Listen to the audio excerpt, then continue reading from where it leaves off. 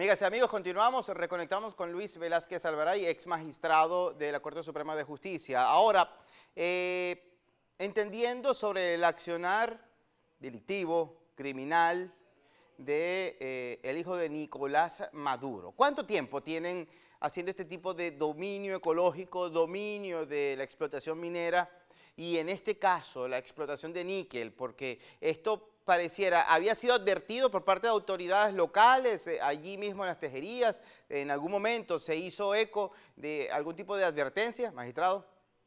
No, mira, el mismo gobierno de ellos, en el año 2004, el mismo gobierno ordenaron la suspensión por la, por, porque era, era evidente lo que, el daño que se estaba causando y lo que se podría generar. Sin embargo, sí se paralizó un tiempo, desde el, 2000, desde el 2004. Pero hace aproximadamente nueve meses, cuando, cuando vino el comando ruso este, este, a, a, revisar la situación, vieron que hay mucho níquel allí, entonces decidieron nuevamente, bajo el mando de Nicolásito, comenzar otra vez. Fíjate tú que en el año 2019, los Estados Unidos declararon a Maduro acusándolo en junio del 2019, entre otras cosas, de beneficiarse de las minas venezolanas junto con Maduro y su esposa Silvia Flores. Es un clan mafioso que viene operando con distintos delincuentes en el mundo. Los delincuentes rusos, los delincuentes iraní, las guerrillas de la, del ELN y la FARC, este, y, y como te dije, cualquiera de estos aprovechadores que, que, existen en todas partes, pues simplemente tienen que ir a negociar con él. Tiene su comando minero este, con, con todos sus edecanes y quien responde en el Estado de Aragua, como te dije al principio, por, por, por todas estas directrices, es el director del el, el comandante de la policía del Estado de Aragua. Ahora, entonces, es, es, es, esta familia, esta familia criminal, eh, Maduro Flores, eh, Guerra en este caso, que están arruinando, además de arruinar al país, además de arrinconar a la oposición, además de, de eh, estar señalados... De, de asesinar hechos, a los presos políticos, así es, y de, de, hechos de, les, de, delitos de, lesa humanidad, ahora el ecocidio y además de esto... Eh, poner en riesgo a una cantidad incalculable de vidas, eh, de familias venezolanas en una zona marginada, porque estamos hablando que se trata de un cordón, un cordón eh, residencial que mm, a pesar de que ha llovido por décadas, esto no se había producido. Este tipo de fenómenos pueden ser incontrolables, estamos de acuerdo. Pero con este tipo de señalamiento, la sospecha cobra mucha fuerza, magistrado. Sí, pero es que fíjate, eh, el problema de todo, y allí pues hay que hacer una advertencia, a quienes nos están viendo. Este, el problema no es solo allí, porque de continuar esta situación, o sea, de continuar las lluvias, como efectivamente, pues vienen, eso viene, eso, eso, eso se va extendiendo sin control, los ríos sin control. Entonces ayer ya hubo otros, otros deslizamientos, otros derrumbes. Es decir, es toda la zona, es todo el estado de Aragua y parte del estado Miranda que está siendo afectado y que va a traer, este, bueno, las consecuencias todavía no las podemos medir. Las consecuencias desde el punto de vista de la destrucción de industrias, la destrucción de hogares, la destrucción de las persona, este, es toda una catástrofe de verdad, incentivada y movida fundamentalmente por, no es un problema, no es solo un problema natural, el problema natural puede existir con sí. muchas partes, sí. pero cuando tú le agregas bombardeos con dinamita y otras clases de, de elementos allí, Sí. Pues entonces la situación se pone, es, un, es un volcán. Pues, sí, magistrado, y estas detonaciones, eh, además de, de, de, controladas, están siendo operadas todavía por eh, oficiales rusos. ¿Que ¿Este comando ruso todavía está al mando de esto o estamos a la deriva de la falta de adiestramiento de algunos venezolanos que eh, quienes están bajo las órdenes de Nicolás Maduro sabemos que se caracterizan por la falta de destreza en este tipo y otros. No, pues ahora, ahora estamos a la deriva y a la deriva del río, este, digamos, porque resulta que, eh, lo, que eh, los rusos lo trabajaron muy bien, también que movieron toda la zona. Y eh, no sé si, si, sabes que allí no, de, no permiten pasar a nadie. ¿Por qué? Porque por allí están todos los residuos de los, de los elementos utilizados y los están recogiendo. Yo, yo todo, cartuchos y, todas, esas, todas esas situaciones que, se utilizan para, para dinamitar sí.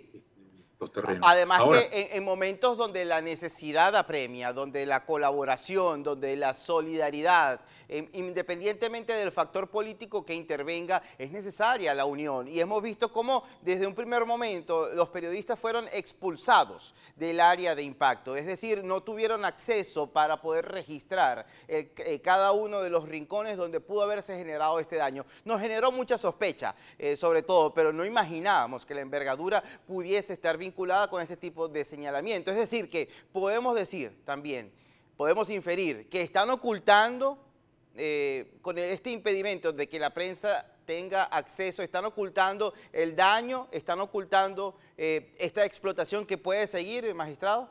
Y como tú dices, es muy sospechoso, porque si hay un, si hay un fenómeno natural, ¿qué tienes que esconder tú? Pero es que se sabe que no, y los policías saben que no, los policías tienen familiares allí. Por eso va a ser muy difícil ocultarlo y algún día, algún día yo tengo eh, la, sensación de que algún día todo esto se va a comprobar. Porque yo lo tengo de primera mano, de la fuente de los oficiales, de la policía del Estado Aragua y del Estado Miranda que están en la zona. Ellos me lo han advertido y me han asegurado y me han pasado todas las, las pruebas que yo tengo. Manejo aquí. Porque cada vez que publico algún, alguna denuncia de este tipo, primero necesito tener las pruebas. Son los propios oficiales perjudicados, incluso allí también, los que después van a servir de testigos. Y también tengo muchos nombres de ellos.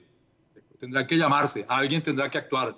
Estamos ahora en situación de total anarquía, una total anarquía en todo el país. Bueno, Dios proveerá, vamos a ver.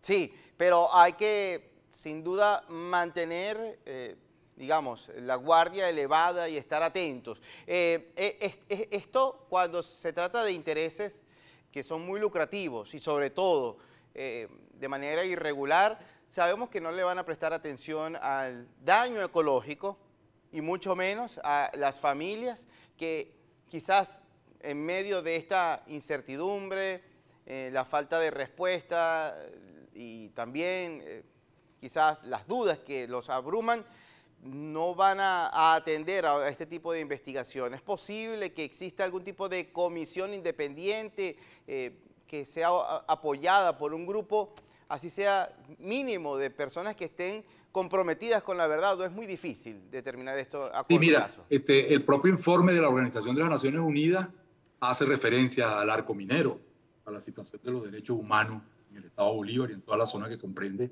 el arco minero. Aquí debería plantearse en las Naciones Unidas este, también una investigación de este organismo, del, del propio organismo que, que, se está encargando de las investigaciones de Venezuela, a objeto de, de poder aclarar esta situación. Porque puede ser que tantas personas mueran, que te destruyas todo un Estado, que eso va a tener consecuencias, como te dije ahora, este, demasiado graves para, para, el, para el futuro inmediato. Este, dejar toda una zona totalmente destrozada, tiene que tener, allí tiene que responsabilizarse y allí van se van a conseguir las pruebas. Cualquier comisión que vaya, cualquier grupo periodístico que, puede, que pudiera entrar allí, este, va a saber y eso no se puede ocultar. Muchísimas gracias, magistrado. Gracias por esta oportunidad de poder eh, tener contacto con algo tan delicado como lo es eh, la presunta participación del Palacio de Miraflores, de quienes están dentro del Palacio de Miraflores, en un daño ecológico, pero más que ecológico, porque esto va a trascender por quizás siglos, lo que ha causado, si esto se llegase a determinar, la pérdida irreparable de vidas humanas a raíz de los destrozos a causa de la naturaleza. Pudieron haber sido de menor cuantía, de, de menor envergadura, si este daño de estructura, de infraestructura o de explotación de manera eh, desproporcionada, explotación minera, haya sido por otra vía y de otra manera. Muchísimas gracias. Fíjate, fíjate que el propio tirano dice que él sabía hace 10 días que eso iba a pasar. Sí, eso. así es. Entonces, ¿por qué no desalojaron a las personas? a confesión de parte, relevo de prueba. Una premisa que ustedes la conocen muchísimo. Muchas gracias por tu, por tu ayuda, porque los venezolanos tenemos que proyectar como sea todo esto. Así es, que esto se convierte en caja de resonancia y contamos con personas como usted. Muchísimas gracias, magistrado. Hasta la próxima. Conversábamos con Luis Velázquez Alvaray, él es eh, ex magistrado de la Corte Suprema de Justicia sobre esta sospecha en relación a una presunta explotación irregular del mineral de níquel en las zonas cercanas a las tejerías como causante del desbordamiento de cauces que han perdido el control ante lo que es eh, el pronunciamiento de las recientes lluvias. No se aparten, ya volvemos con más.